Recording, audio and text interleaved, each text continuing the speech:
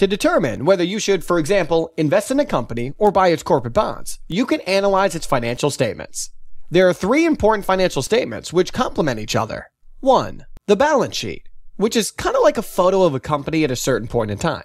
It tells you at that point in time what assets, such as cash in the bank, inventory, or real estate that company has, and what liabilities it has, such as, for example, debt to suppliers. Subtract the liabilities from the assets, and you'll have the net worth of the company at that point in time, also called equity.